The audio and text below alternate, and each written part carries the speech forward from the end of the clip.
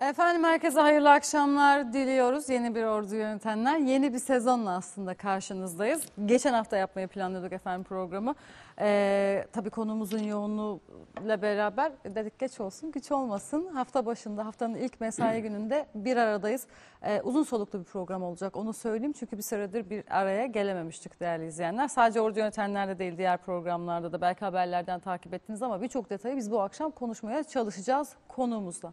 Sezon açılışımızda Büyükşehir Belediye Başkanımız Sayın Doktor Mehmet İmri Güler bizlerle birlikte aslında bu memleketin suyundan, yoluna, çalışmalarından, turizminden birçok detayına, tarımına, ekonomisine değerlendirmeye çalışacağız sizlerle birlikte. Aynı zamanda sosyal medyadan da yayındayız merak edenler, e, soru yöneltmek isteyenler varsa ben vakit buldukça, fırsat buldukça sizler için sormaya çalışacağım. Konuştuklarımızdan hariç farklı konularla alakalı sorular gelirse eğer. Bu arada biliyorsunuz şimdi her salı ordu yönetenler akşamı saat 20 ama biz e, yarın akşam Mevlid Kandili ve Mevlid Kandili özel programları gerçekleştirileceği için Sayın Bakanımızla bu akşam bir araya geliyoruz. Onu da belirtmiş olalım. Haftaya salı bir arada olacağız inşallah Allah izin verirse diyelim. Sözü de fazla uzatmadan misafirimizi bekletmeden hemen dönelim. Efendim nasılsınız? Hoş geldiniz. Çok iyiyim Funda Hanım. Sizler de iyisiniz inşallah. Sizi gördük daha iyi olduk. Aynı şekilde.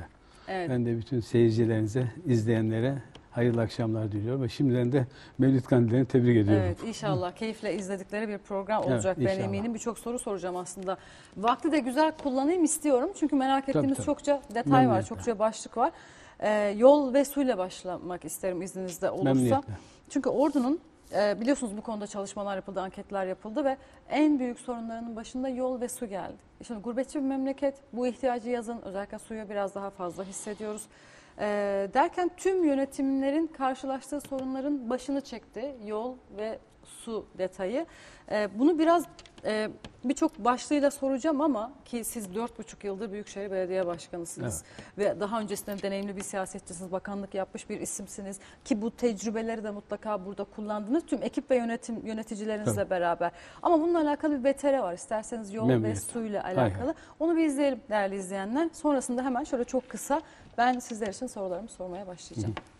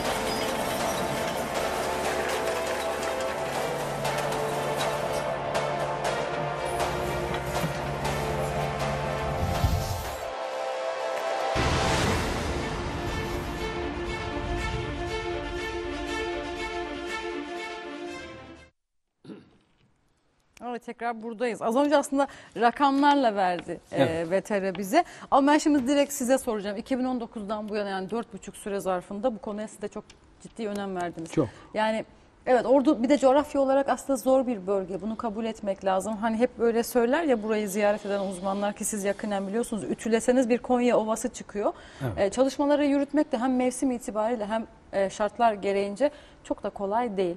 E, ki siz bu konuya çok fazla eğildiniz. Hem yol hem suyla alakalı detayları merak ediyoruz. Nasıl Tabii geçti? önce Neler tabii teşekkür ediyorum. Ee, Çok önemli bir soru bu. Çünkü belediyecilikte en önemli şey altyapı ve dolayısıyla yol ve su. Burada biz e, sadece 4,5 yıl değil, ben aslında bakanlığım döneminde de köydes projelerinin en yüksek e, parasını alan illerden bir tanesiydi. Ödeneklerin. Hiç unutmuyorum 5 milyon lira bütçesiyken bir ara bir 80 milyon lira para göndermiştim. Yani çok önemli para bu. Ve e, başındaki arkadaş da benim eski e, arkadaşımız, elemanımız olduğu için e, ordu burada gerçekten hem ihtiyaçların karşılığında çok iyi yatırımlar aldı. Ve o zamana kaymakamlarımızla çok büyük yatırımlar yapıldı. Köyde projesinin devamı zaten bizim önerdiğimiz bir şeydi. Bakanlığımız döneminde. Sayın Cumhurbaşkanımız da o zaman Başbakan tabii çok önem verdi Karadeniz'e, Ordu'ya. Burada hep ilk üç yatırım biz aldık. Dolayısıyla benim yatırımlarımız yani Ordu ile ilişkim sadece belediye başkanı olarak değil, ta bakanlığımdan itibaren devam ediyor. Ve bu çalışmaları hep en yüksek payı aldı. Zor bir alan. Bir bir mukayese yapacak olursak İstanbul'un alan toprak büyüklüğünden daha fazla. Yani 6001 kilometre kare ordu. Yani İstanbul bunun çok altında. Yani 5500 civarında. Dolayısıyla e, bir de yol uzunluğu da 27500 kilometre. Ve bunların içinde tabii karayollarının olan var, bizim alanlarımız var. Bir de ilçe belediyelerinin var. Şu anda biz burada 1900 kilometre yol yaptık. Yaklaşık buradan Viyana'ya kadar, Avusturya'ya kadar. Yani çünkü Türkiye'nin şeyini geçti uzunluğunu. E, suda da 1855 kilometre su hattı, kanalizasyonda içme suyu yapıldı. Yani ama öyle bir şey ki çok büyük yatırımlar gerekiyor. Sadece bu yıl 1200 heyelan oldu. Daha bu yıl bitmedi. Evet. Heyelan oldu. Dolayısıyla ama tabii bizim görevimiz bunları yapmak. Bir de tabii çok kaliteli bir ekibimiz var. Gece gündüz çalışan. Yani e, hakikaten iftihar ediyorum. Gece gündüz çalışıyor. Bir de bizim kendi makinalarımızla yapıyoruz. Yani biz öyle kiralayarak yapmıyoruz. 240 iş makinamız var. Yani kiralamaya kalksaydık bunların ayda 20 milyon lirada kira parası verecektik. Ayrı bir. Ayrıca asfalt plantlerimiz var. İş- Bunun dışında e, beton santrallarımız var.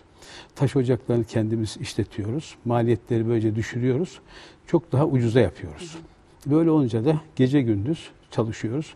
Yo, şu anda 355 noktada şantiye halinde ekibimiz çalışıyor. Ve dediğim gibi durdurak yok. Ama dediğim gibi yapılan çalışmalar her bir iş yol yapıldıkça bu sefer diğer arkadaşlarımız da haklı olarak bir an evvel kendi alanlarında, yollarını da istiyorlar. Ve ama şunu söyleyeyim, büyük bir e, şeyle, özveriyle ve başarıyla e, durmadan, duraksamadan çalışmaları sürdürüyoruz. Suda da aynı şekilde. Zaten rakamlar burada kendisini gösterdi. Biraz önce kolay anlaşılsın diye. Yani biz şu anda hem 100. yılı e, geçiyoruz. ikinci yüzyıla başlıyoruz. Şu anda bizim rakamlarımız tüm zamanların rekoru. Tüm zamanların. Öyle 10 yıllık, 20 yıllık değil. Cumhuriyet tarihi. Cumhuriyet tarihinin. Hatta biz ilk yıllardakini düşük olduğunu zaten biliyoruz tabii o zamanki şartlarla. Onu da yapmadık. Son 50 yılın rakamlarına baktık. Hepsini karşılaştırdık. Açık ara büyük bir yani hepsinde e, rekor seviyede 2'ye 3'e katlayarak gidiyoruz. Ama dediğim gibi arazi çok büyük ve bizim maliyetlerimiz de aynı zamanda. Mesela bir İç Anadolu'daki bir ilin durumuyla mukayese olmayacak Evet. kadar bizim alanlarımız çok dağınık. Bildiğiniz gibi 722 tane şeyimiz, 772 tane şeyimiz var, mahallemiz var. 772 mahallenin içinde ayrıca kendi mahalleleri var. Dolayısıyla bizim e, 2970 tane merkezimiz var. Her biri ayrı ayrı yatırım istiyor. Biz de memnuniyetle yapıyoruz çünkü bu amaçla geldik, hizmet için geldik ve yaptığımız çalışmalarda mutluluk alıyor, duyuyoruz çünkü sonucunu görüyoruz. Gözüküyor çalışmalar. İlk geldiğimiz günlerdeki gibi çok fazla miktarda yani e, hoşumuza da gidiyor. Çünkü başka illerde bu kadar büyük bir şey çalışma yok. Ekonominin zor şartları olmasına rağmen biz kendi kaynaklarımızla yapıyoruz. Hem bunları ödüyor. Şu, şu anda biz zengin bir yani e, belediyeyiz. Kaynak oluşturduk. Yeni kaynaklar oluşturduk. Para sıkıntımız yok. Bunları kendi imkanlarımızla yapıyoruz. Ve başkalarının e, paramız yok diye yapmadığı çalışmaları biz daha benim hiç ağzımdan duymamışsınızdır. Hepsini kendi imkanlarımızla yapıyoruz. Çünkü makineler kendimizin, mal sahibiyiz. Taş ocakları, e, pe- e, asfalt planlarıyla birlikte, beton santralleriyle kendi makinelerimizi yapıyoruz. En güvendiğim de tabii ekibimiz. Evet. Çok güzel bir ekibimiz Evet, var. mutlaka. Dediğim gibi işte rakamlar burada. Bakın şurada 50 yıllık yol ağını koyduk. 50 yıllık e, e, maviyle olanlar Maviler 50 yılda yapılanlar. 2019 öncesi. 2019 önce 50 yıllık yola.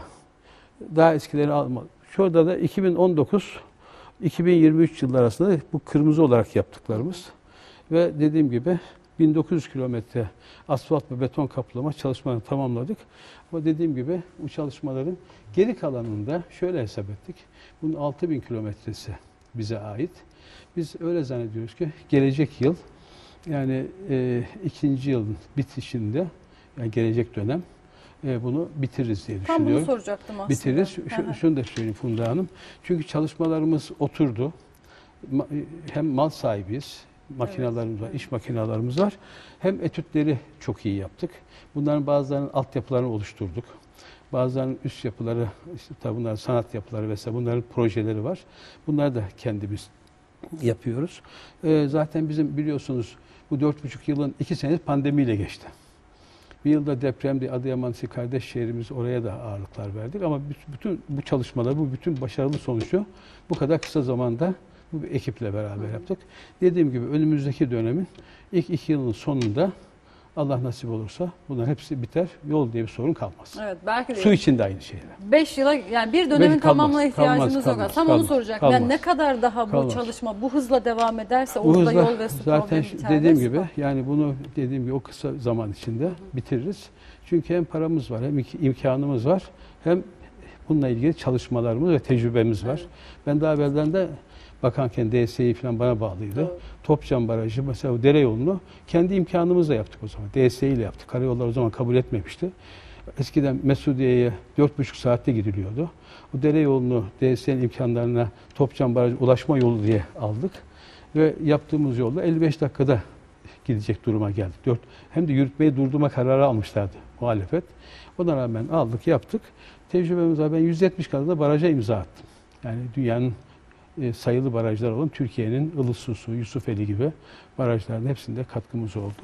Bunlar bizim için çok zordu. Çünkü 70, yani 81 vilayetin çalışmalarını yapmıştık. Şimdi ordumuzun çalışmalarını yapıyoruz. Onun için bunların hepsini bitiririz diye ümit ediyorum. İnşallah. Allah İnşallah en nasip yakın zamanda. tabii. Ee, tabii ben şimdi bu akşam başlık başlık birçok detayı soracağım efendim. Tabii ki. Ee, Her soruyu sorun. Ben de merak ediyorum. Bu şehrin bir ferdi olarak Tabii ki. ben de merak Bir ediyorum. de şu var tabii. Funda Hanım, yani ben şöyle kabul, sizi de öyle kabul ediyorum. Siz sadece bir yani yönetici olarak değil, toplumda seyretmeye hakkı olmayan insanlarız biz. Tekrar ediyorum. Toplumda seyretmeye hakkımız yok. Yani hepimizin katkısı olacak, eleştirisi olacak, aynı zamanda katkısı da olacak. Ben de kendim bildiğim bilese orduya hep hizmet edeyim diye çalıştım. Sadece bu belediye döneminde değil, bakanlığımda, ondan önce genç mühendisken de hep ordunun sorunlarıyla ilgilendik. Onun için bizim seyretmeye hakkımız yok. Elimizde hangi im- imkan varsa direkt kaleye oynayacağız. İnşallah. Evet. Bu arada az önce yol, ara- yol ağı haritası vardı. Şu anda da içme suyu ve İçme suyu, bu kanalizasyonla da böyle. alakalı. Evet, bu da böyle. e, Gene 50 var. yıllık içme suyu ve kanalizasyona biz biraz hatta şey de davrandık. Çünkü bunlar içinde asbestli borulardan Hı. yapılanlar var da millet biraz da evham sahibi olmasın diye şey yapmak istemiyorum. Çünkü biz onları da değiştiriyoruz. Yani bütün o eski borular, patlak borular ki onlar var gibi gözüküyor ama onların tabii bir kısmı da eskimiş vaziyette. Ee, bunları da toparlıyoruz. Burada da işte yapılanlar ortada. 1855 kilometre. Burada da gene OSKİ'mizin elemanları eski DSİ mensuplar. Hep tecrübeli arkadaşlar. Daha evvelden baraj yapan, e, bor- boru hatları yapan arkadaşlar. Ve şimdi biz bunlarla göletler yapıyoruz. Ve konsepti değiştirdik. Biz yukarıdan aşağı akan suyu eskiden aşağı kadar iniyordu. Sonra elektrikle yukarı basılıyordu. Şimdi biz bunları yukarıda göletler yaparak toparlıyoruz. Ve dolayısıyla bunlarla beraber arıtmayla birlikte yapıyoruz. Bir misal daha kanalizasyon. Belki kimse bunu bilmez. Sadece 150 kilometre kanalizasyon hattı yaptık. Onun için denizlerimize denize giriliyor. Yani mavi bayraklı. Doğru. Yani başkaları gibi denize boca etmiyoruz şeyler, kirli suları, atık suları. Onlar yapılıyor. Yağmur suyu atık sistemi diye bir metot geliştirdik. Yağmur sularını değerlendiriyor. Ordu ilk defa bunu yaptı. Ve aynı zamanda Enerji Bakanlığı'nda enerji verimliliği gibi su verimliliği yasasının taslağını da hazırlayıp bakanlığa önerdik. Yani görev verim olmadığı halde. Çünkü enerji verimliliği gibi su verimliliği de önemliydi. Yani şurada işte 4 yılda daha evvel 240 mahallenin 772 mahallemizin 240 mahallesinin sorunu vardı. Bunlar çözüldü. Şimdi gördüğünüz gibi bak yukarıdaki kırmızı bölgeler hep sorunluydu. Oradan aşağıya kadar geldik. Şimdi 223 Ağustos ayı sonunda 32 mahallede şey var. Ki yaz sorun var. aylarında çok Evet onları onlar da biz ama şöyle yapıyoruz. Susuz bırakmıyoruz. Onları tankerle gönderiyoruz. Ankara'da bile 212 mahallede Mansur Bey'in konuşması vardı. Onlara tankerle gidiyor Ankara'da bile. Habertürk'te söylemiş. Kaynağında söylüyorum ki baksınlar diye. Biz, biz zor şartlar altında burada 32 mahalleye bunu düşürdük. Onu da inşallah toparlayacağız. Evet. Şimdi bir yandan tabii yapılıyor. Az önce rakamlarla Evet. konuştunuz efendim. Ee, bir diğer taraftan Bir de da- ordunun yo- yolu Ankara gibi falan da değil Evet. yani. Tabii şartlar. Evet, Evet. evet. Ee, tabii yaz aylarında çok üzücü bir e, afet yaşadık malum. Tabii, Sel evet. yaşadık. Ben onu da hemen sorayım çünkü ciddi bir hasar aldı aynı zamanda. Ben çok iyi hatırlıyorum. Birkaç sene önce muhtemelen sizin belediye başkanlığı döneminiz yeni başlamıştı. Oradaki kapalı derelerden bahsetmiştiniz. Evet. Yani kapanan Tabii. dereler ve üzerine kurulan Evet, bir evet, şehir evet. ki birçoğu çok önemli bölgelerde Evet, aslında bu doğru. kapalı derelerin ki afette neler olabileceğini maalesef gördük. Üzerinde yapılar var derelerin. Evet. Ee, demiştik ben onu hiç unutmuyorum. Ee, altyapıdan beyaz eşya çıkıyor düşünebiliyor musunuz Tabii, tabii, diye. tabii, tabii. Şimdi böyle bir şehir bir de burası heyelan ve sel bölgesi maalesef. Evet. Yani e, coğrafi konum olarak da böyle. Biz e, birçok ilçede de bununla alakalı acı hatıralarımız var. Bunu biraz konuşalım. Çok ciddi bir çalışma yürütüldü Evet. burada. O geceden itibaren hemen aslında ekipler müdahaleye başladı. Allah bir daha yaşatmasın. Amin. Ama biz neler Tabii. yaptık? Valla tabii bu çalışma sadece o dönemde değil, geldiğimiz günden beri biz buna ağırlık verdik. Mesela biz bütün mazgalları, bütün şeyleri temizledik. Değil, onları temizledik. Yani şöyle söyleyeyim size, e, 3600'lü 4100 kamyon malzeme taşıdık. Temizledik. Yani arkadaşlar belki gösterebilir. Bakın arkadaşların temizlemesi Evet. görüyor musun? Bundan çoğu böyle temizlenmemişti. Bunları arkadaş bir şu işte. Benim kahramanım bu. Şinasi DS ile. Bakın şeyden çıkanlara bakın. Bunlar atılmış. Araba lastikleri, buzdolapları, bisikletler. Hele şu çok enteresan. Bunu ben izlemiştim. Bunu, evet, bunu bir biliyorum. daha bunu yani bir daha göstereyim. Bunu ben hala çözebilmiş değilim. Belki seyircilerimizden çözebilen Nasıl varsa söylesinler. Bu bizim hemen e, camiyle bizim belediye büyükşehir Bel- belediyesinin bina. Bak bu nasıl girmiş olabilir buraya? Ben hala bunu akıl etmiş değilim. Yani çözemedik biz bunu. Bu kadar mühendisle akıl Evet, yürütüyoruz. evet. Bu nasıl girmiş? Bunu eğer hatta bilen olursa ödül de vereceğim. Ee, bunu çıkar bak içinde arkadaş ve çıkanlar daha bu hiç çıkmıyor. Daha var. Hala içinde çalışıyor bil gördüğüm kadarıyla. Bak çalışıyor. Çıkarıyor. Bak. Böyle temizlediler. Evet. Bu kadar malzeme. Ordunun üstü kapalı derelerinin e, yıllardır birikimi. Bunları yani buna görünmeyen işler. Hı hı. Genellikle e, görünmeyen işleri belediyeler pek sevmez. Yani- Altyapı öyle yani Altyapı göze öyle. gözükmeyen Tabii, bir yatırım göze olduğu için. sevilmez. Bu da ayrı bir şey. Bu da depremde. Şimdi bu Evet, bunu binanın o gün önünde bir tane kaçak yapı vardı. Hı hı. Kaçak yapı vardı, patladı ve bizim e, o Sırrıpaşa'ya kadar gitti. Hı hı. Biz aslında sudan çekmiyoruz. Su akıp gidiyor. Heyelanlar oldu. Beklemediğimiz heyelanlar oldu. Ee, ve bu heyelanlarla bütün o 80 yıllık e, şeyler yeniden ortaya çıktı. Bu bakın burası satılık. O bina o akşam şu alt katta e, alt kattan su akıyordu. Pencerelerinden dışarıya su taşıyordu. Üst katta da ışık vardı. Ve bunun varlığı yoktu ortada. Bu şeyi biz e, şimdi satılık o da komik bir şey. Tamam mı? Evet. Yani e, işte burayı yıktık. Yıkınca bakın yıkınca ortaya çıktı bu. evet.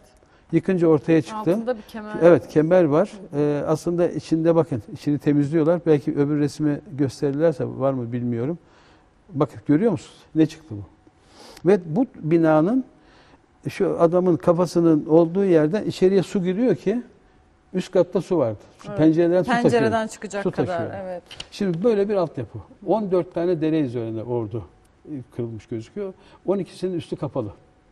Ne kadar 12'sinin doğru. üstü kapalı. Bu e, rakam e, şeyde Fatsa'da 13 tane, Ünye'de 15 tane. Acaba o günün teknolojisi bunu mu el veriyormuş da böyle yok. yapmışlar? Niye, hesap, niye hesap dereler... ettik, hesap ettik. Derelerin üzerindeki alanı şöyle metresiyle ölçtük. Hepsi bütün kazanç eğer alansa 9 dönüm. Hiçbir şey. 9 dönüm. Hadi 2 ile çarp Hı hı. 18-20 dönüm olsun. Tamah edilir? Bakın işte bu. Ve bundan dolayı ne sıkıntılar çekildi. Doğru. Biz bunu şimdi o arkadaşlar işlerini temizliyoruz. Ve işlerinden çıkan işte araba lastikleri, bu buzdolabı vesaire hatta tabancayla kafatası da çıktı. tamam yani böyle komik bir şey. Ee, buradan değil tabii. Toplamından. Bunu anlatıyorum. Ee, bu tip çalışmaları da yapmak durumundayız. Ve bir günde toparladık. İkinci gün hayat normale dönmüştü. Evet, En son İçişleri Bakanlığımızla konuştuk. O da takdirlerini ifade etti. Yani biz Ordu gerçekten örnek gösterilen bir iliz. Yani Ordu'yu biz aslında sadece e, yaşanılabilir bir şehir yapmak istemiyoruz. Aynı zamanda çok güzel bir şehir yapmak istiyoruz. Onun için bir çalışmalarımız. İşte bakın bunların hepsi o heyelanla beraber gelen e, alan. Ve biz aslında senelerdir sel oluyor diğer il- il- illerde. Biz de çok şükür biz bunu yönettik. Sorun olmadı. Ama bu seferkinde heyelan geldi. Bunlar su değil. Yani hiç görmediğimiz mesela kilisenin önünde ben o bölgenin işte Taşbaşı işte burası Taşbaşı Mahallesi. Taşbaşı Mahallesi'nde biz böyle bir malzeme görmedik. Ee, burası da bizim Fidangör dediğimiz yer. İşte bizim çocukluğumuzda olduğumuz, işte gençken gezdiğimiz Bülbül yerler. Deresi burası. Bülbül Deresi ki bu kadar olmazdı. Ko- Koca ağaçlar parçalanıp gitti. Ve biz o gece her bir e, derenin başında da iş makinalarımız varken bu oldu birden. Ama çok şükür atlattık ve e, önemli takdir gördük. Halkımız da aynı şekilde çok teşekkürler ettiler. Bu da şeyin üstü işte o dediğim e, bizim e, Mahmut yerin evet şeyin e, o deminki Kilisenin- evin altı. Evet kilisenin orada da tiyatronun olduğu yer. Evet. Orası da böyle. Tabii bunlar hiç rastlamadığımız malzeme. Bu da şey biraz önceki ev. Evin penceresi bak. Evet. Evet, Şu anda az önce izledik. Ve fiyatı da artmış biliyor musunuz? Selden sel. Yok. Önce 5 milyondu. Şimdi galiba duyduğum kadar 12 milyon olmuş. Yani ilginç bir tarafı da var. Evet. altyapısını. Evet. yani niye şu anda trajikomik bir durum Trajikomik, olduğu için gerçekten söylüyorum. Evet. İşte buralar görüntü, şey, evet. evet. Bakın bu da şey makineler zaten oradaydı. Ve burada da şöyle oldu. Şimdi bu bunları tekrar kaldırıyoruz. Kendimiz yapacağız e, şeyleri. Toparladık çok şükür. E, ordumuz dediğim gibi senelerdir olan şeyleri bu sefer e, heyelan sebebiyle atlattı. Bak bu da şey önü. Bu gidiş geliş yeri Samsun Giresun yolu. Karayolu. Ve bizim burada iş makinesi kayboldu şeyin altında. Bir diye var mı bilmiyorum. Şu hemen şey işte bizim Taşbaşı Mahallesi'ndeki kilise. Bu yolun e, şey kısmı, öbür tarafı bariyerlere kadar böyle bir malzeme yok. Bu bildiğimiz bizim mahallemizin falan taşı toprağı değil. Da Boztepe'den yukarıdan, Yukarıdan gelen, geliyor. Evet. heyelanla gelen. Şimdi böyle rakamlarla falan konuşuyoruz, fotoğraflara bakıyoruz işte ama bakın çok iş büyük makinesi, iş makinesi burada bakın görüyor musunuz? Şeyin altında. Ve arkadaşı kurtardık. Hapishane deresi Tabii hapishane deresi. yer, Evet evet. Yani ben öyle bir dere çocukluğumdan beri hatırlamıyorum. Hı hı. Ama üstünü kapatmışlar. Ve bunu toparladık. Şimdi bundan dolayı yeni bir çalışma başlattık. Hı hı. Ee, bu tip çalışmalara dirençli şehir. Yani doğal afetlere karşı dirençli şehir. Bu da şey Fidangör. Yani işte bütün bizim akranlarımız hatta Evet. böyle bir şey yok. Bu malzeme su değil. Suyla bir sorunumuz yok. Sel o temizlediğimiz e, şeylerden altyapıdan akıp denize iniyor. Ama bu başka bir şey. Ama dediğim gibi bunların hepsinin tedbiri alındı çok şükür. Şimdi sel kapanları yapıyoruz. Bu bunu imara yeniden aldık. Yarın da zaten meclis toplanacak. Ee, bunu da göz önüne alarak yani dünyanın en e, şey usullerini, Nasıl e, teknik efendim? usullerini suyun e, başladığı yere kapanlar koyacağız. Daha evvel çalışmıştık. E, hazırlığımız var. Proje hazır. E, onun olduğu yerlerdeki ağaçları, taşları tutan e, bir sistem koyuyoruz. E, bununla birlikte de kapanan e, o dereleri de göz önüne alarak açıyoruz. Çünkü su kendi yatağını istiyor. Yani Evet. bakan kendi bunu. Evet, Cumhurbaşkanımız da hep söyler. Selin yatağı, yani suyun yatağına bir şey yapmayacaksınız. Su geri alıyor yerini. Hı hı. Ama o zamanlar işte zamanında yapılmış. Temizlenme de yapmadı, yapılmadığı için bu şeyle karşı bakın şu, şu işte gördüğünüz, gördüğünüz yer ama dediğim gibi çok süratli bir çalışmayla, örnek bir çalışmayla yaptık. İşte ekibimiz, genel sekreterimiz, genel sekreter yardımcılarımız ta en e, alt çalışana kadar harika bir çalışma yaptılar. Ama bu da bize tabii ders oldu. Evet. Evet, durum bu. Bunları da o gece çaresizlikten koyduk. Çünkü e, makineleri koyduğumuz halde iş makinelerini heyelanın gelen malzemeleri çok yoğun bir şekilde gelmişti. E, ama dediğim gibi bir gün içinde toparladık. Yani daha evvelden 20-25 günde temizlenmeyecek şeyi çünkü kendi makinelerimizi yaptık. Hı. Eğer biz o sırada herhangi bir müteahhitin peşinde işte kiralayalım, bilmem ne yapalım, boş aracın var mı diye aramaya kalsaydık felaket oldu. Allah'tan kendi makinelerimizi iyi ki almışız hı hı. mal sahibi olarak. Bunları yaptık ve toparladık. Tabii zaman evet. kazandırdı. Hız, evet. hız vermiş oldu evet. aynı zamanda. Evet, Allah şey geçmiş etsin Amin. inşallah. Ve Gerçekten. mesela burada bir de ayrıca mühendislik çalışmaları oldu. İşte içme suyu borusu da patladı. Hem Altın Ordu'nun hem şeyin. Bunları da biz e, Fatsan'da aynı şekilde. Evet. Onlar da arkadaşlarımız çok güzel bir çalışma yaptılar. Bakın bu da şeyin sistemin başarısını gösteriyor. Bütün o atık sular denize gitmeseydi, temizliği yapmasaydık bu sular şehrin içinde olacaktı. Hı hı. Yani böyle bir e, yağmur yağmamış. Yani bütün ölçeklere göre ki başka yerlerde 20 kilogram yağıyor, adam ölüyor. 3-4 kişi boğuluyor büyük şehirde. isim vermeyeyim. Bizde çok şükür bunlar olmadığı gibi gayet güzel sonuçlar aldık. İşte bu da şeyin atık suların denizdeki aldı. Bunlar biz alanlarını dahi ölçüyoruz. Bu da şeylerin o hem civilin hem e, meletin hem turna suyunun hem de bülbül deresinin dört tane şeyidir. Girişleri gözüküyor. Bunları biz drone ile de ölçüyoruz. İyi olup olmadığını ne kadar çok alan genişliyorsa o kadar kendimizi iyi, iyi görüyoruz. Eğer bunlar denize gitmemiş olsa evlere gitmiş olacak. Doğru, şehre zarar evet, şehre zarar. Mesela bir şey daha söyleyeyim. Melet'te mesela taşma olmadı. Hı hı. Çünkü niye? Bakanlığımız döneminde barajlar yaptık. O HES'leri yaptık. Hı. Suyu regüle ettik. Kontrol altına aldık. En ufacık bir taşım, taşma olmadı. Ki Melet en büyük ırmağımız. Karadeniz'in de sayılı ırmaklarından bir tanesi. En ufak bir taşma olmadı. Bu yani yaptığımız çalışma demek ki sadece belediye döneminde değil, bakanlığımız döneminde de e, yaptığımız çalışmaların semeresini aldık. Zaten bu hizmetler bir silsile halinde bir bayrak yarışı. Herkesin evet. yaptığını devamı olarak yapıyoruz. Bu da güzel bir sonuç çıkardı ortaya. Evet. Melek evet. projesini birazdan soracağım. Evet. Ee, ama önce mesela tra- turizm başlığıyla alakalı biraz konuşalım istiyorum. Ee, efendim zaman da ilerliyor. Ee, sizin çok kıymet verdiğiniz bir detay bu yani turizmle alakalı ki orada evet. bu noktada önü açık. Şimdi yapılmış çalışmalara bakıyoruz, oluşturulan destinasyon alanlarına bakıyoruz. Daha önce önünden geçtiğimiz, baktığımız, baktığımız ama belki görmediğimiz alanlarmış diyoruz. Mesela artık adamız var. ee, yakın bir tarihte de açılışı gerçekleştirildi. Çok da güzel bir ilgi görüyor bu arada. Evet. Fotoğraflardan evet. da görüyorum. Şimdi sosyal yani. medyada herkesin böyle keşfetine düşen evet. fotoğraflar bellidir. Bu ara bol bol Faslı Adası görüyorum. Şu anda 7 bin kişi e, gezdi. Ne güzel. Evet, Allah sayısını arttırsın. Olacak, evet. Ee, şimdi bu fikir nasıl ortaya çıktı? Önce onu bir sorayım. Vallahi bazı şeyler söylemez yapılır. Meslek sırrı ben, yok yok değil, o anlamda demiyorum. Yani ben öteden beri ta çok iyi havalarda hayal meyal hissettiğimiz bir şeydi. Çünkü evet. hep karayolundan gidip geliyor. Denizi gören yok. E burası da bir kayalık olarak. Sonra evet. seçim sırasında orayı gezmiştim. Bakanken de öyle bir tekne şeyinde gördüm. Tabii bu kayalık ve üzerinde yürünemeyecek kadar da keskin taşları var. E, burasını biz aldık. De, pek de söylemedim kimseye. Etüt ettik. E, ve buraya bir ada yapayım dedim. Hem Fasla için hem Karadeniz için de bir e, destinasyon noktası olur. Etrafı da bozmamak için ahşaptan yaptık. Belli bir yükseklik yaptık. Aslında kafamda daha çılgın bir şey vardı. Hidrolikle yapıp yükseltip indirim diye düşündüm. Ha. Yani şeyle dalga geldiği zaman dalgalı zamanlarda yukarı alalım sonra aşağı indirelim diye.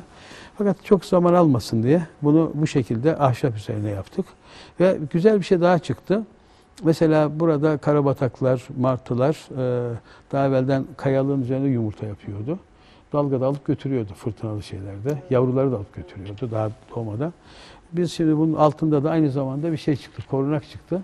Böylece hayvanları koruma noktasında da hem işte Melet'te yaptığımız adacıklardaki turnalar, hem burası, hem e, şeydeki e, e, Hoynat'taki e, martılar onlarla da güzel bir ortam ortaya çıktı. Bu da böyle e, çevreyi koruyarak güzel bir alan çıktı. Böyle hoşumuza da gidiyor. İşte burası bir destinasyon. E, aynı zamanda biliyorsunuz yani belediyelerin görevi pastayı büyütmek. Turizm gelirini de büyütmemiz lazım. Yani sadece fındıklı olmuyor. Fındık'ta da işte zaten önemli çalışmalar yapıyoruz. Rekabet kuruluna başvurduk. Orada da kendimi sorumlu hissettim. Ve orada da çok iyi sonuç aldık. Mesela fiyatlar arttı. Gayet güzel gidiyor. Burada da işte turizm gelirini artıyor. Burası mesela e, çok dikkatinizi çekmek isterim. E, burası Hoynat. Burada e, arabalar şu bakın şu kırmızı olan yerde arabalar geri geri geliyordu. Çöp döküyordu aşağıya. Şu platformda şöyle bir müsaade ederseniz göstereyim. Yani şurası bir geri alırlarsa arkadaşlar Bir önceki Bak, kamyon çöp kamyonu gelip şuradan şurada bir platform var. Buradan açıyordu şeyini damperini buradan döküyordu çünkü. Ya bu kadar güzel yere çöp dökülüyordu. Ya bu kabul edilir bir şey değil. Şimdi burayı aldık. Bambaşka bir böyle bir alan meydana geldi. Ve herkes burada fotoğraf çektiriyor. Ve burada bir ekmek yiyorlar. Altı sahil insanlar Tabii denize de- giriyorlar. denize giriyor. Ve harika bir yer. Burası hani mavi yolculuğu varsa hani Marmaris'in, Bodrum'un vesairenin bizim de burada Hoynat'ımız var. Ve bunun etrafında şimdi mağaralar var. Tekneyle biz dolaşacak şekilde program yapıyoruz. Bu da bir önemli bir noktaydı. Kaynakları iyi kullanmamız lazım. Yani belediyenin görevinde işte orturu kurduk. Yani ne gerek var? Bak bunlar işte karabataklar. Evet. Yani bunlar e, tepeli karabatak. Başka yerde yok bu. Burası bir kuş cenneti. Ve bu daha evvelden işte bunlar bu, öyle bir şey yaptı ki rahatsız etmeyelim diye. Mesela buradan yol yapalım falan diye düşündük. Yapmadık. Rahatsız etmeyelim. Bu da mavi çizgili e, martılar var. Martı bembeyaz olur. Bunun kanadının ucunda beyaz çiz, şey mavi çizgiler var. İşte böyle bir yer. Hem kuşlar özgür bir şekilde yaşıyorlar. Hem de harika bir ortam çıktı. Ve işte herkes bak işte el sallıyor, görüyorlar, seyrediyorlar. Burası önemli bir destinasyon. Bunun bir de öbür tarafı var. Tünelin öbür tarafı var. O da ikinci etabı. O da yeni bir alan. Oraya da çok güzel şeyler yaptık. Bir de şunu yapıyoruz. Her yaptığımız yere mescit de koyuyoruz. Buralar aynı zamanda sadece gelip gezilen yer değil, yaşam alanı oluyor. Yani bunun için evine barkına gidip hani kesinti vuramasın diye sabah akşam kadar otursun, denizine girsin, namazını kılsın, pikniğini yapsın. Ee, Böylece de biz 15'e yakında mescit yaptık. Bütün o şeyde, bütün parklara. Biz artık park yaklaşımı değil, yaşam alanı. Mesela çocuklar geliyorlar, din oynuyorlar, Ee, büyükler onları takip ediyor, Ee, namazlarını kılıyor, ibadetlerini ediyorlar, yiyeceklerini yiyorlar, temiz hava alıp gidiyorlar. Bu da böyle. Ee, dediğim gibi turizm geliri çok önemliydi. Yeni destinasyonlar oluşturduk ve şu anda daha evvelden bizim Ordu'ya biliyorsunuz Haziran, Temmuz, Ağustos gelip fındığını toplayıp gidiyordu. Şimdi biz bunu 12 aya yaydık.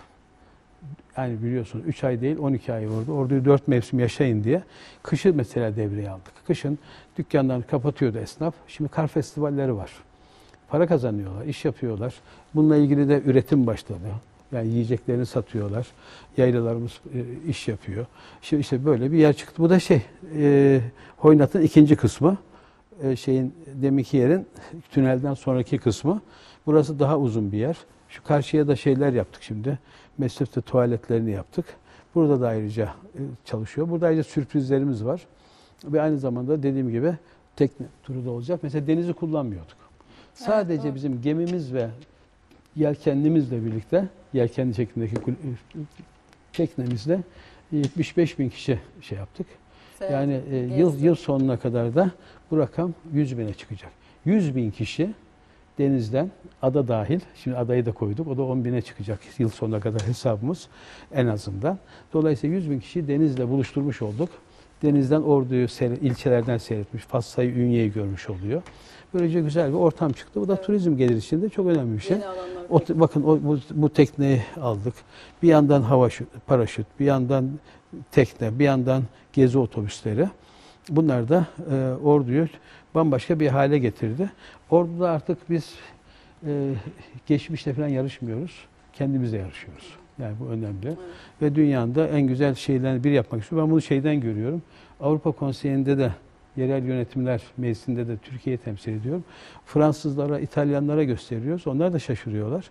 Çünkü bizi onlar hiçbir şey yani yeterli görmüyordu açıkçası öyle diyeyim. Ama şimdi bu yeni şey çok bakir bir savaş. Ordunun içi. Yani mükemmel bir şey yaptı, çıktı ve bozulmamış. Her tarafına denize girebiliyorsunuz. Eksiklerimiz yok mu? Var. Onları da toparlayacağız. daha güzel bir hale getireceğiz. Şimdi yeni rotalardan biri de e, o alan daha öncesinde çok konuşuldu malum üzerindeki yüksek ölçekli yapılar sebebiyle. E, Çamlı Köşk e, o da yeni açılan e, alanlardan tesislerden biri. E, ki o bir dönem çok konuşuldu. Siz çok tarihi bir karar verdiniz Büyükşehir Meclisi ile Evet. beraber ve Evet. o yapılar yıkıldı. E, şimdi de çok sosyal bir alan, sosyal aktivitelerin gerçekleştiği insanların özellikle hafta sonu da çok e, ciddi bir kalabalığa ev Evet. sahipliği yapıyor bu arada. E, bunu da biraz konuşalım. Orada çok güzel bir alan ortaya çıkmış Bu artık oldu. Çamlıköş değil, Donatılarıyla. biz buna şey diyoruz. O bölgede yoktu böyle bir yer. Ee, Kiraz Limanı ve Taşbaşı yaşam alanı diyoruz. Yani bundan sonraki ismi bu. Hı hı. Çünkü hem Taşbaşı'nda böyle, ben de bir Taşbaşı çocuğuyum. Dolayısıyla bizim çocukluğumuzda yüzdüğümüz yerlerde. Şimdi burada 12 bin metrekare e, çocuklar için alan var. Hı hı. Anneleri, babaları seyrediyorlar. Onlar oynuyorlar. 24 saat açık burası. Ve e, hem oynuyorlar, eğleniyorlar. Çok değişik bir e, duvar sistemi de yaptık. E, sağ olsun Nihat Bey güzel bir proje oluşturdu. Bu boş duvarları ordu evleri şeklinde görüyoruz sağda. E, cumbalarla o çirkin duvarları biz hem kapatmış olduk. İçinde aynı zamanda oturuluyor. Burada da e, altında da bunun e, burası yeşil alan. Yani bir şeyi de düzeltmiş olayım. Burası yeşil alan olduğu için yıkılmadı. Kıyı kenar çizgisinden kenar. dolayı yıkıldı. Yeşil alanı biz yaptık mahkeme kararıyla. Ve bu çalışmayı yaptık. Bunun altında dört katta şey var. Bir kendisi katı var şurada.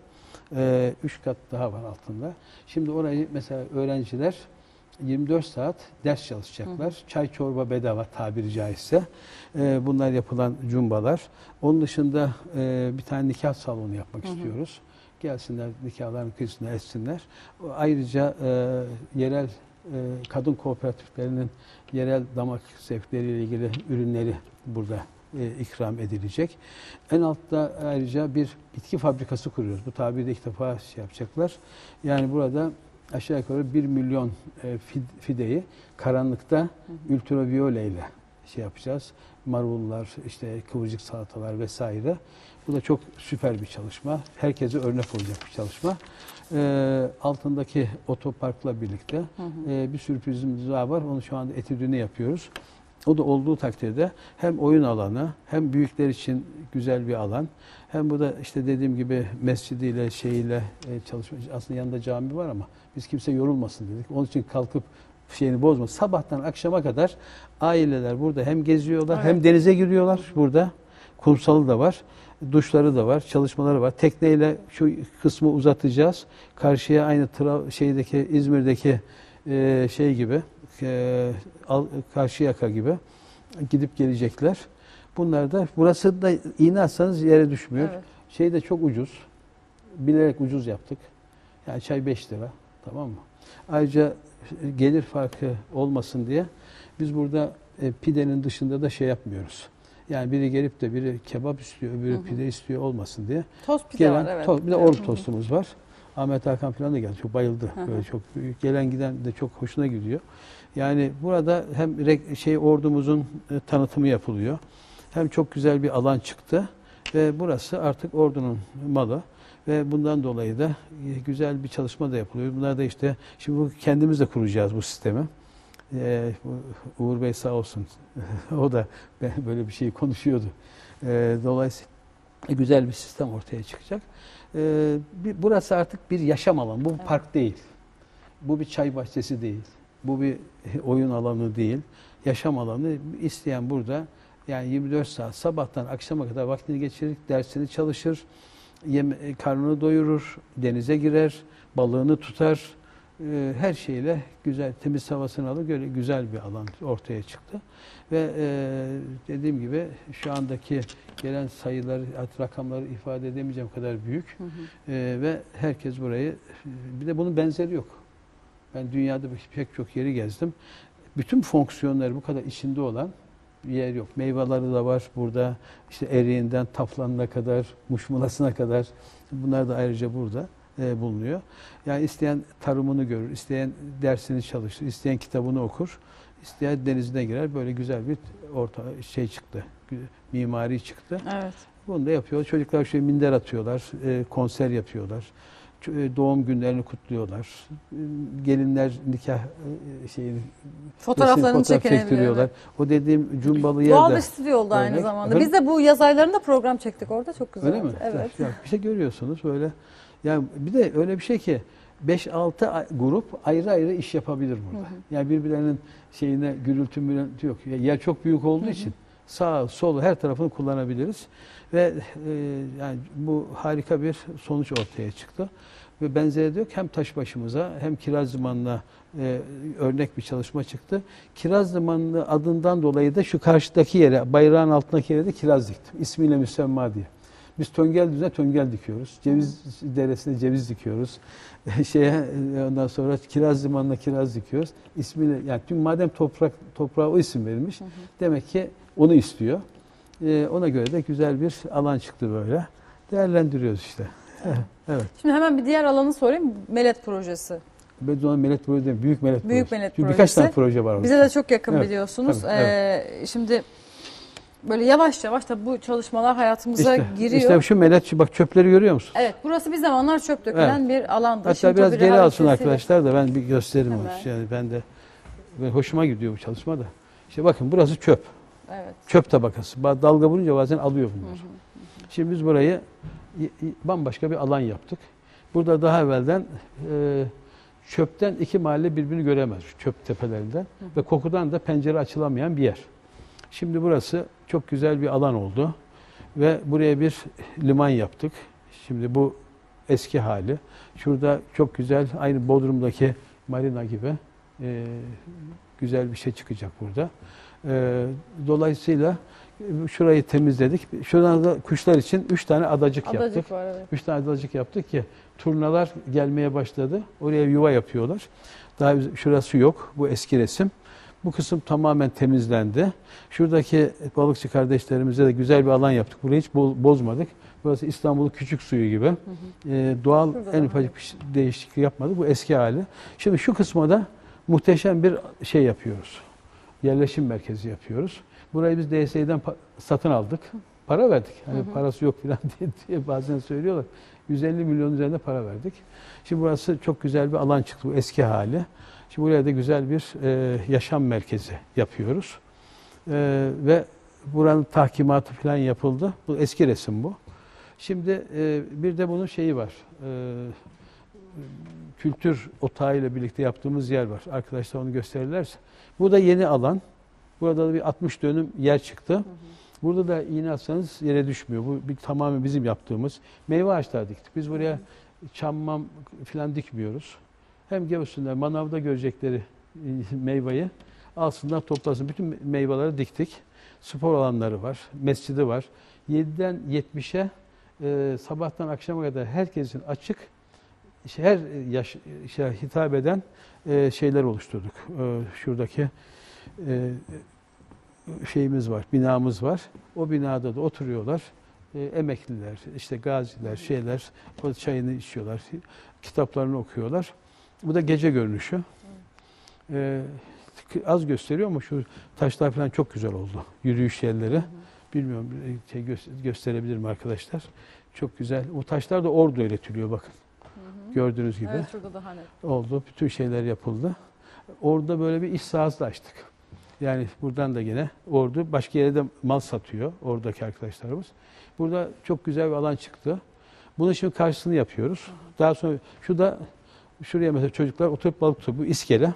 Bundan üç tane olacak. Üç de karşıya olacak. Tekneler yanaşacak.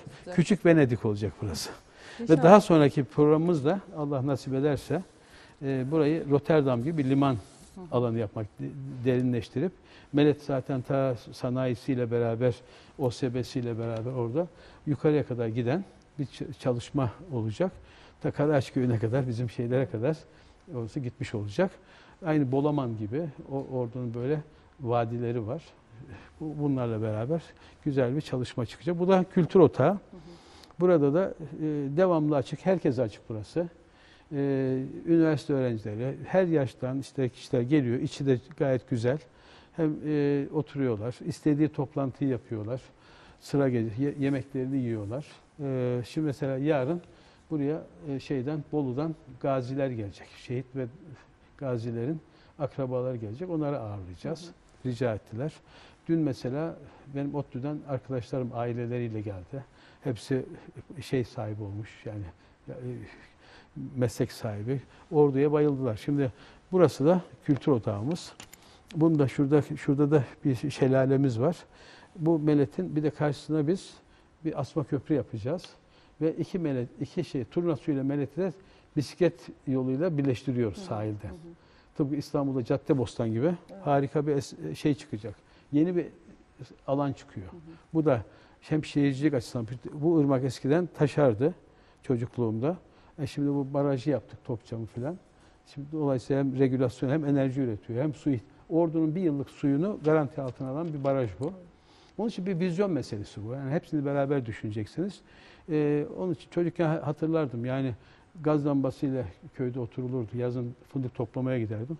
Bu kadar e, ırmaklar var. Niye gaz lambası kuruluyoruz? Allah nasip etti. DSİ bana bağlı oldu. Bakan ki bunları yaptık. Evet. Yani şimdi şurada da çocuklar oynuyor. Bunu hep kendi eserimiz gibi görüyoruz. Yani rüzgar türbinlerine, güneş enerjisine, suya vesaire.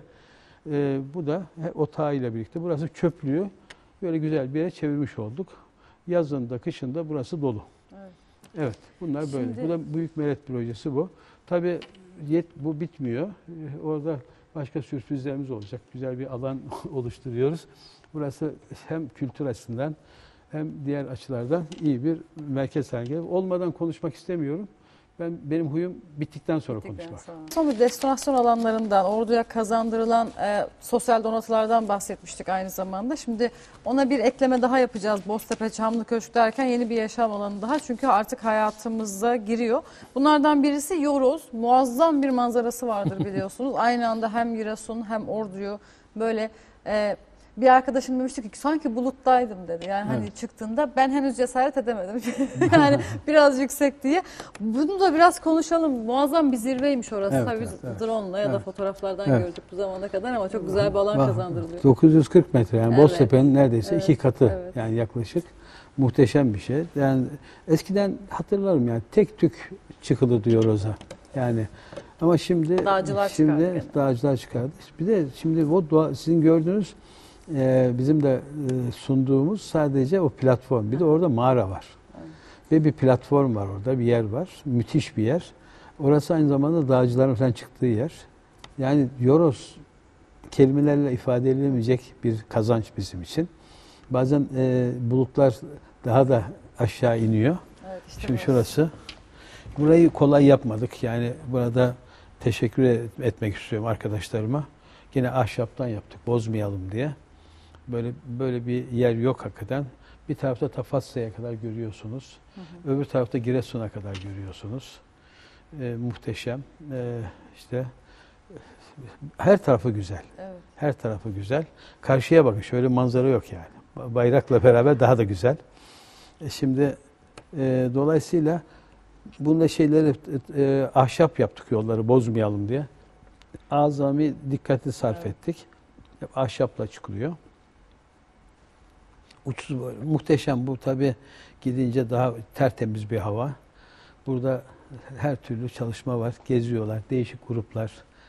Kimi ibadet yapıyor, kimi eğleniyor, Evet. kimi fotoğraf çekiyor. Şu baksanıza şuraya. Böyle bir şey yok yani muhteşem. Şu işte kayayı da boz. Bu da zirve noktası. Evet. Orada plaket asacağız. Şu bayrağımızın güzelliğine bakın orada. Hepsi beraber. Güzel bir şey çıktı ortaya. Çok şimdi bir de o dağ kısmını daha henüz hazırlamadık. Şey e, e, ne onun adı mağara kısmını. Orası da çok güzel bir hale gelecek. Hı hı. E, yoğun ilgi var. Burayı daha açmadık resmen ama dediğim gibi e, uçsuz bir karşıya kadar görüyorsunuz. Kuş sesleri, hı. güneşin hem doğuşunu hem batışını görüyorsunuz. Böyle Ya bir son şey. gibi. Tabii. Aynı şey bir de benzeri Ünye'de, e, Çamlık aynı şekilde. Çamlık'ı da belki farkında değiller. Daha evvelden burası parsellenmiş. Altı e, parsel halinde. Hatta inşaat yapılma durumu vardı. Yani e, 13-14 bin e, e, metrekare kapalı alan yapılacaktı. Biz onu tamamen kamulaştırdık. Önüne geçtik. Oraya bir sadece 400 metrekarelik bir e, bağ evi gibi ahşap bir şey koyduk. E, Ünye'yi de kurtardık. Aslında Ünye'deki buraya eğer biz yani o yaptığımız şey kırkta biri. Şey gibi. E, kırkta biri. E, eğer e, müsaade etmiş olsaydık, dokunmasaydık 40 kat bina yapılacaktı. Yani 40 ay yani yaptığımızın 40 büyüklüğünde, 40 adet büyüklüğünde şey yapılacak. Alan kapalı alan olacaktı. Ee, bunu da böylece önlemiş olduk. Ee, güzel bir şey çıktı ortaya. Burası da iğne atsanız yere düşmüyor. Evet, tamam. Yürüyüş yerleriyle beraber çok güzel bir alan çıktı ortaya. Yani 15 bin metrekare kapalı alan olacaktı eğer biz bunu kamulaştırmasaydık. Bizim yaptığımız 400 metrekare böldüğünüz zaman yaklaşık 40'ta biri. Burayı da e, tamamen e, yani inşaat yapacak, rant getirecekken belediyeye yapmadık. Tıpkı beldedeki şeydeki gibi. Biraz önce Çamlıköşk'te olduğu gibi. Burayı da e, Ünye'de bütün Türkiye'ye hediye ettik bu alanı. Çok güzel bir şey çıktı. Deniz kenarında şurada oturuluyor. Yani doyum yani muhteşem bir şey çıktı ortaya. Bu da ayrı bir çalışma. E, Sırrıpaşa deseniz öyle. Daha evvelden e, selde i- içinden yağmur suları çıkarılırdı şeyler. Hatta ben bir ara tekneyle e, daha evvelden şey, sandal e, koymuşlardı şeyde. E, şimdi Sırrıpaşa da çok güzel bir alış- alışveriş merkezi oldu. Sadece bir alan değil, yani burası başlı başına bir e, e, alışverişin şekli değişti orada. Yürüyenler, oturanlar, yani çok güzel bir şey çıktı ortaya. Cadde ve açık AVM haline geldi. Bunlar hepsi e, yeni şehircilik anlayışının örnekleri. Onları Evet. oluşturuyoruz Evet. şimdi. Evet. Şimdi tabii birçok alanı az önce sizden e, dinledik ama bu programda özellikle sormak istediklerim var efendim. Onları da Tabii, izniniz tabii, olursa memnuniyetle. sorayım istiyorum. E, çünkü bu şehrin aynı zamanda e, ekonomisini de konuşmamız lazım. Evet belki sizi doğrudan ilgilendirmiyor ama bunlara da müdahil oldunuz aslında. Mesela fındıkta lisanslı depoculuk çok kıymetliydi. Evet. Belki yanlış konumlandırılması sebebiyle bir zamanlar elimizden kaybettik malum. Evet. Bu konuyla alakalı bir çalışmanız var. Fındığa Var, verdiğiniz değeri biliyorum. Tabii, Yapılan birçok çalışma var. O yüzden özellikle Evet. soracağım. evet. Son durumu e, ve nasıl ilerlediğini tabii merak ediyorum. Valla şimdi biliyorsun biraz önce bir şey yani biz toplumda seyretmeye hakkı olmayan insanlarız. Bir de ben aynı zamanda e, şehreminim yani Evet. e, belediye başkanıyım. Ta Osmanlı döneminde bir de hisbe teşkilatı var. Yani muhtesip diye bir tabir var. Denetleyen, gören, hakkını, hukukunu savunan. Ben de bu noktada bölgemin hakkını, hukukunu savunmak için bu çalışmaları yaptım. E fındığa bakıyorum yani herkes fındıkla yatıyor, fındıkla kalkıyor ama fındık az olunca da üzülüyor, fındık çok olunca da üzülüyor. Fiyatını kendin kontrol edemiyorsun. Neyse bakanlığımız döneminde Cumhurbaşkanlığımız da o zaman çok yakın ilgi gösterdi. Sonradan gelen bakanlarımız da, tarım bakanlarımız da belli bir baza oturttu şeyi fındığı. Ama ben bakanlarla çok tartıştığımı hatırlıyorum. Fındığa sahip çıktık yani. Ama fındığa sahip çıkma sadece fiyat zamanında olmuyor. Yani fiyat açıklandıktan sonra herkes fındığı unutuyor. İşte sadece işte manavlarla, tüccarlarla iş yürüyor. Tabii bunu bir inceleyince baktık bir rekabette sorun var. Onun için biz 550 dönüm yer topladık. Bir şirket kurduk. Ortarı kurduk. Ve bundan dolayı da paydaş olduk. Hukuki olarak da e, şey rekabet kuruluna başvurduk. Ve yaptığımız çalışma neticesinde şu anda şey çalışma sürüyor. Ve daha evvelden işte Cumhurbaşkanı bir fiyat açıklıyordu. 33 gün sonra başka bir fiyat açıklanıyordu. Bu sene o biraz daha uygun bir şekilde oldu. Ve fındık da azdı bu sene rekolte olarak ama bu şeylerin sıkı takibimiz neticesinde e, şu anda gayet iyi bir noktaya geldi. Yani giderek de yükseliyor. Daha güzel bir şey oldu. Ve fındık kırma, ufak fındık kırma tesisleri açılmaya başladı. Herkes kendi fındığını kırıyor, kavuruyor, paketliyor, saklıyor. Ve daha da güzeli yemeye başladılar. Bu kadar güzel bir şeyin niye satıyor ki? Ki Aynı zamanda yesin. İş tüketimi ne kadar artmalı, o kadar artmalı. Sağlıklı insanların yetişmesi için de önemli. Hatta biraz daha teorik bakarsan hastane masrafları bile düşer sağlıklı olursanız. Yani sosyal boyutu da oraya kadar gidiyor. Bunu yaparken biz fındık kabuğundan da aktif karbon fabrikası kurmak üzere çalışmaları yaptık. Burada e, fındığın kabuğunu da değerlendiği bir şey. Çikolata yapmaya başladık. Fındığı hep söylüyorum yani fındık olarak satarsan 2 milyar dolar. Çikolata yapar 8 milyar 10 milyar dolara kadar çıkıyor. Güzel de bir üretim başlattık. Fındığa sahip çıkmak böyle olur. İşte kabuğuyla, şeyiyle. Ayrıca kapsülünü hayvan yeme olarak değerlendiriyor. Fındık bahçelerinde yeni üretimler başladık. Mesela kirintiyle atılan otları biz zenginleştirip hayvan yemi haline getiriyoruz. Bunlar fındığın ayrı bir boyutu. Bir başkası da lisanslı depoculuk. Evet. Lisansın depoculuğu etüt ettik. Şu anda yerini seçtik, şirketini kurduk. Bunu yaptığımız zaman e, dar gelirli e, fındık üreticileri hemen satmak zorunda kalmayacak. Çok İnşallah. olduğu zaman da oraya koyacak. Aynı banka gibi. Bankaya para yatırıyorsun. Burada fındığı yatıracaksın. Karşılığında hesap açmış oluyor. Onu da istediği yerde kullanıyor. Ki bu teminat sayılıyor aynı Teminat, zamanda. tabii tabii. Evet, teminat doğru. da sayılıyor. E, doğrudan doğruya bankanın fındıkla çalışanı öyle diyelim. Yani e, ve bunu yapıyorsunuz. Şimdi bu çalışmayı oluşturduk, yönetimini oluşturduk. Şimdi yakında bir Cumhurbaşkanımızla bir görüşme durumu var. Onlarla oturup bu çalışmaları da bahsedeceğiz. Yani fındığın şeyi bu. Yani e, çalışması. Tabii e, rekabet kurulunun da çalışmaları önemli. Oradaki şeyin bize döviz dövizin döviz olarak gelmesi lazım.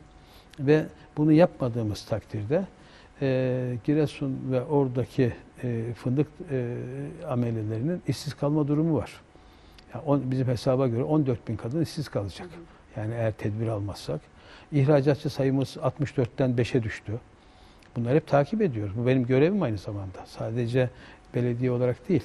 Yani bir vatan çünkü ben hem hizmet ediyoruz, hizmetkarız hem de aynı zamanda memleket bizim hem de sahibiyiz oranın biz. O bakımdan hem sorumlusuyuz, mesulüyüz. Böyle bir emanet var. Buraya kadar girdik ve fındığı takip ediyoruz. Fındık bahçesi sadece fındık üretmek için değil. Şimdi mesela biz orada tavuk çalışması da yapıyoruz. Tarım çalışması yapıyoruz. Örtü altı çalışmalar yapıyoruz. İyi bir noktaya doğru gidiyor. Ama bizim buradaki amacımız e, yabancı sermaye karşı olmak, serbest piyasaya karşı olmak değil. Tam tersine bunun e, dürüstçe, Tabii. düzgünce yapılması, Evet. kurallara Şimdi, uygun yapılması. Ee, Çalışma da bu. Evet, aktif Evet. karbonu ben özellikle soracağım bu akşam. Tabii. Hani söylemiştim de merak ettiğim Tabii. detaylardan biri. Az önce bahsettiğiniz fındığın kabuğu 3 lira, e, aktif karbon 5 dolar. Evet. Yani çok gerçekten Yaklaşık çok kıymetli. evet. Çünkü şimdi fındığın fiyatı hep konuşuluyor Fındık fiyatı ya bizim artacak, kabuk fiyatı memleketimizde. artacak. Evet, 3-4 liraya çıkacak. Aynen öyle. Şimdi Ama bu, böyle- bu memlekette hep fındığın fiyatı konuşuluyor ama işte fındığın zararları var, mücadele etmesi gereken birçok Tabii, şey var dediniz ya fındık bahçeleri sadece Tabii. fındık üretilen yerler değil aslında bunu da göstermeye çalışıyoruz. bu da başka bir yolu. Ne zaman bu memleket kazanacak? Ne zaman ihracat başlayacak? Onu da tabii Tabii söyleyemem. önce şu anda biz e, fabrikanın e, imalat inşaatını yapıyoruz. Hı hı. Üstü kapanacak. Sonra buraya makinalarını koyacağız. E, bunu bir ortaklık şeklinde yapıyoruz. Çalışmalarını, projeyi geliştirdik. Ben aynı zamanda malzeme mühendisiyim, doktoruyum. Hı hı. Bununla ilgili daha evvelden bu senelerdir benim hayalimdi. Bu çalışmayı yaptık. Bu yüzey aktif bir malzeme. E, bundan çok çeşitli ürünler yapılıyor. Evet. Yani yüzlerce ürün yapılıyor.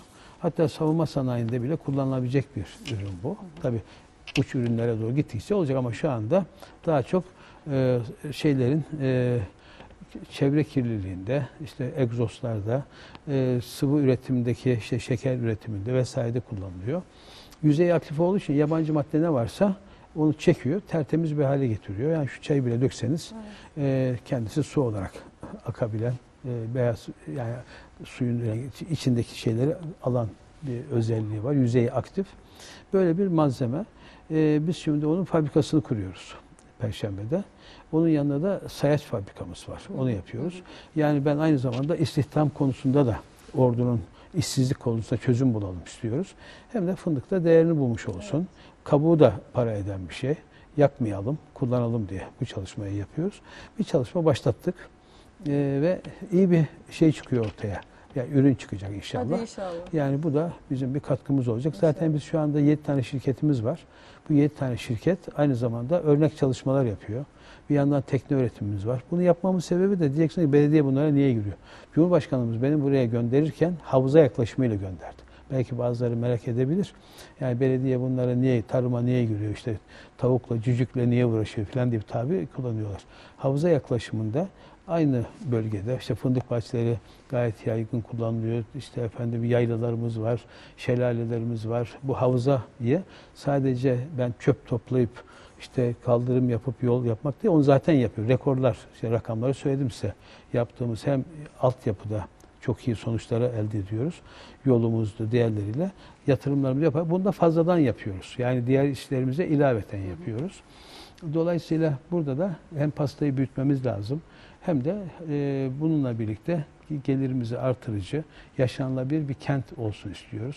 Mesela bu ürün pek çok yerde kullanılıyor. Yarın çevre konusunda e, arabanın egzosundan tutun, kirli suların temizlenmesine kadar, gazların temizlenmesine kadar aktif karbon geniş kullanım alanı buluyor. Bizim yakacağımız şeyi böyle yapmamız falan bunları da yapıyoruz. Evet. Hem bir kazanç çıkıyor, hem burada adam bir millet çalışacak, hem de bir kaynak ortaya çıkıyor. Biz esas konumuz bizim yol, su. Bunu zaten yapıyoruz fazlasıyla. Biraz önce rakamları Evet. sunduk.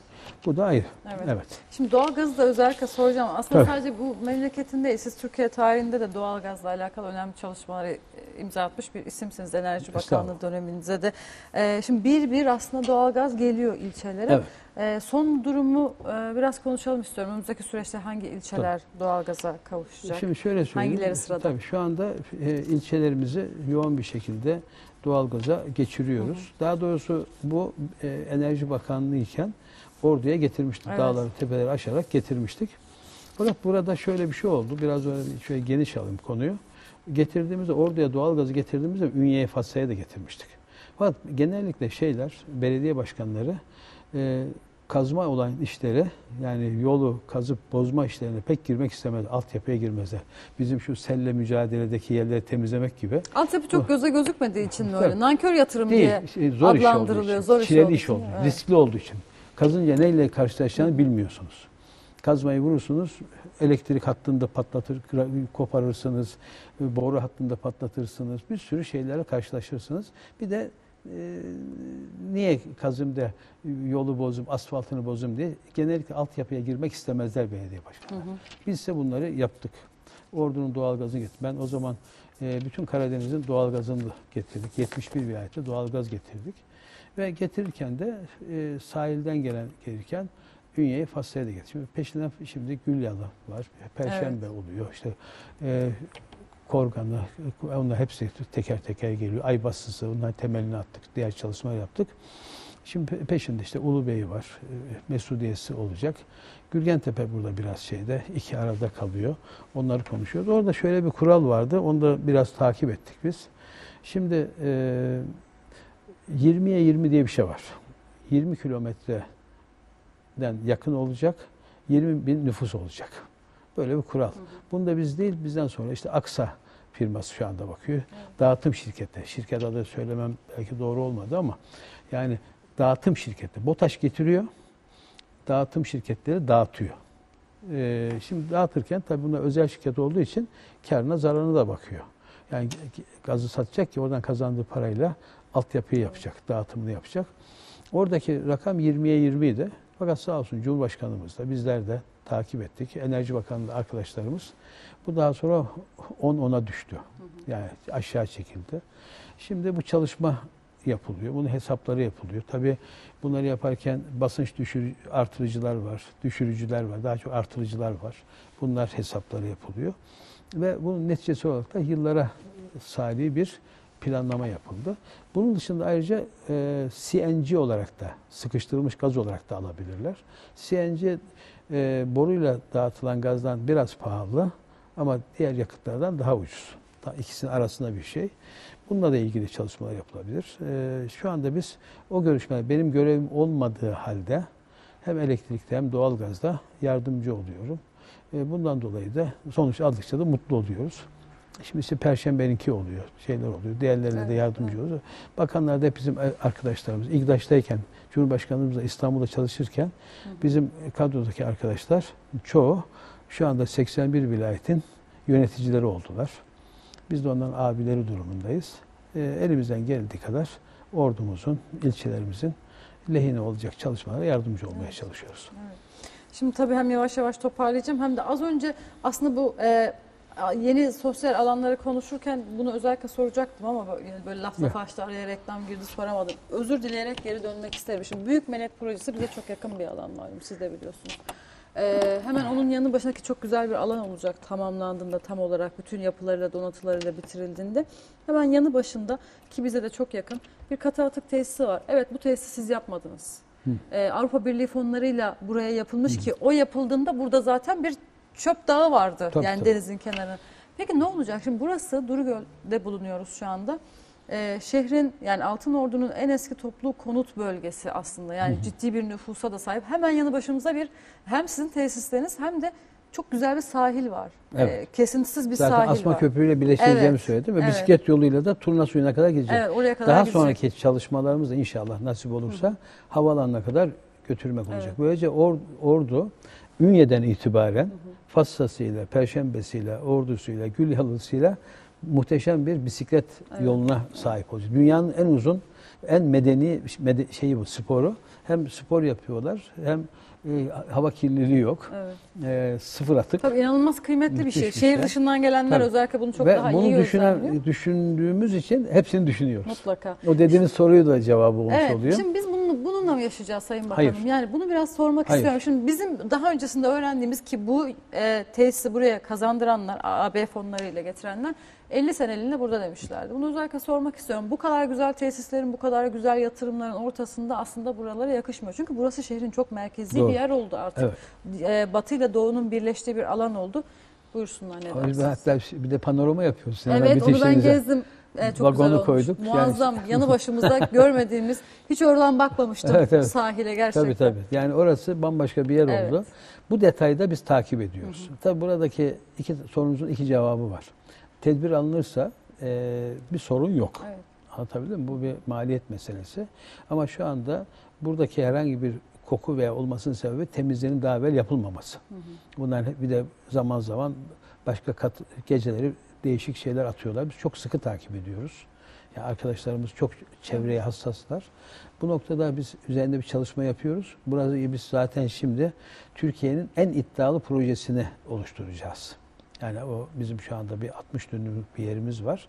Orası tam bir yaşam alanı olacak. Tabii öyle bir yaşam alanında bir yanlışlığa müsaade etmeyiz. Ben etmem. Arkadaşlarım da etmez. Mutlaka. Onun üzerine çalışma yapıyoruz. Yani merak etmeyin. Güzel bir şey ortaya çıkacak. İnşallah. Ve e, çok da e, uygar bir çözümle onu oluşturacağız. Çünkü daha evvelden pencere dahi açılmıyormuş. Yani e, millet pencereleri, balkonda oturmayı bırakın Hı hı. pencereleri açamıyormuş. Tabii bunları kaldırdık. Şu anda dikkat ederseniz hem diğer paydaşlarımız canlılarla, turnalarla varıncaya kadar hassas dikkat ediyoruz. Dediğim gibi buranın içinde şimdi bizim ikinci bir Venedik olmasını yani benzetmek biz daha güzel olacak belki de. Çünkü orası kokan bir yer. Güzel bir alan çıkıyor ortaya. İnşallah. Bunu yapacağız merak etmeyin. İyi bir şey İnşallah. çıkacak. Evet. Ee, şimdi az önce de söyledim yavaş yavaş tabii toparlayacağız vaktimizin sonuna geldik. Ayrıca iki Ee, ırmağı birleştirdiğimiz gibi buyurun. bir proje daha var. Biz e, arkadan da e, e, şeyi birleştirmek istiyoruz. Yani Melet'le Civili e, veya uygun olursa Hı hı. o etüdü yapıyoruz. E, şeyle e, Bülbül Deresi ile Civili'de Hı hı. yani birleştirip bir e, e, döngü oluşturalım istiyoruz. Bu hem e, afete dirençli kentlerin oluşunda önemli. Birinin suyu az, birinin çok olunca da bir dengesizlik oluyor. Çok değişik böyle çalışmalarımız var. Şimdi e, sahilden zaten iki, iki ırmağı Melet'le Turnaş'ı birleştiriyoruz. Burada da Melet'le Civil ve veya e, Civil'de e, Bülbül Deresi'ne çalışmayı düşünüyoruz. Bunlar da ayrıca çalışmalarımız olacak diye düşünüyorum.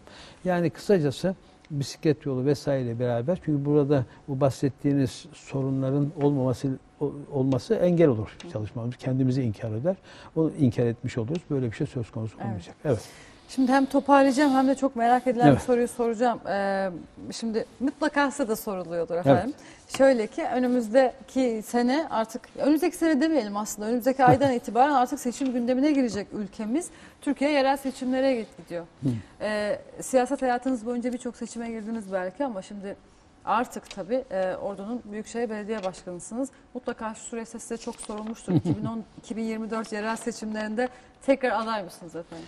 Valla ben hayat Ben merak eden birçok kişi adına Ama ben de sordum. size- Elçiye var emin, olmaz. emin Buyurun. olun. Ben de size şunu ben hayatım boyunca hiçbir göreve talip olmadım. Hiçbir göreve talip olmadım. Yani dediğim gibi burada da çalışma tamamen takdire bağlı bir şey. Ee, hiçbir şeye talip olmadığım gibi burada da e, kader bize nereye sevk ederse ona göre hareket edeceğiz. Ama şunu ifade edeyim. Orduyu çok seviyorum. Memleketim. Görevim olmadığı zaman da ben orduya hizmet ettim. Burada da yapılan çalışmanın devamını tabii ki isterim. Özellikle bitmesini isterim. Çünkü bu çalışma sıra dışı projeler. Yani hayallerin ötesinde şeyler, vaatlerimizin ötesinde çalışmalar yaptık. Hep tabii ki bu tecrübeli döneminde de iyi şeyleri devam ettirmeyi arzu ederim. Ama hiçbir şeye talip olmadığımı da ifade etmek isterim. Teşekkür ediyorum. Ben Ben, teşekkür ederim. ayrıca sezonun ilk programıydı. Nasip diyelim daha doğrusu. Evet. İnşallah. Ee, hayırlısı hem olun. memleketimiz için, siyasilerimiz için. Ve şunu da ifade edeyim. Bir kuruş dahi ücret almıyorum başından beri. Onu da söyleyeyim. Yani bunu ben para için evet, yapmıyorum. almıyorum. Hiçbir şekilde belediyeden hiçbir konusunda ücret almadan çalışıyorum. Başka şey de almıyorum. Emekli maaşımla bu çalışmayı yapıyorum. Onu da ifade etmek istiyorum. Çünkü zaman zaman çok değişik şeyler söyleniyor. Ya ben şunu da gördüm ki yani ordu e, bizim şu anda yaptığımız çalışmaları e, iyi takdir ettiğini düşünüyorum. Hiç başka bir beklentim yok. Sadece e, söyleyeceğim şey şu. Rıza makamına yönelik işlerin büyük büyüğü küçüğü aranmaz. Yöneldiği makam önemlidir. Biz de bu makam karşısında çalışmalarımızı sürdürüyoruz. Evet. Evet. Ee, sezonun ilk programıydı. Ee, ben çok teşekkür ediyorum. teşekkür Sizlere. ederim. Ayaklarınıza Evet. sağlık. Birçok detayı konuştuk. Konuşamadığımız aslında birçok çalışma var. evet. Yapılmış çok fazla çalışma var. Yalnız yeri gelmişken şunu da söyleyeyim. Buyurun. Zaman zaman e, çok e, değişik konular oluyor. İşte biraz önce söylediğim konular gibi. Bizim belediye ile ilgili hangi konuyu, hangi e, kişiyi merak ediyorlarsa bizim aşağı yukarı 250 kişilik bir salonumuz var. Herkesi davet ediyorum. Aklına gelebilen her şeyi sorabilirler. Her eleştiriyi yapabilirler. Her çözüm önerisini yapabilirler. Her şeyin de doğrusunu öğrenebilirler. Her şey açık. İlk ağızdan. İlk ağızdan ekibi de dizerim. Beraber yaptım. Arkadaşlara da koyarız. Aklına ne geliyorsa ister canlı kameralar karşısında, ister açık açık istediği soruları sorabilirler. Buna da açığız. Onu da Diyelim. ifade etmek isterim. Böyle birlikte veda Evet, edelim o zaman. sağ Çok ol. teşekkür Ben ediyorum. teşekkür ederim. Efendim sezonun ilk programıydı Ordu Yönetenler'de. Büyükşehir Belediye Başkanı Sayın Doktor Mehmet İlmi Güler bizlerle birlikte oldu. E, hafta önümüzdeki haftadan itibaren her salı biz yine saat 20'de burada olacağız. E, ben bir kere daha programın başında konuştuk ama herkesin Mevlid Kandili'ni kutluyorum, tebrik ediyorum. Haftaya inşallah Ordu'yu yöneten bir başka isimle biz tekrar burada olacağız. Hoşçakalın.